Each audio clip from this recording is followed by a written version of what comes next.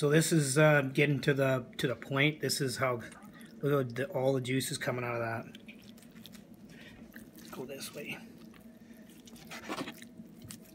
Literally just melting away. It's tough to even tough to even cut because it's just so good. Okay.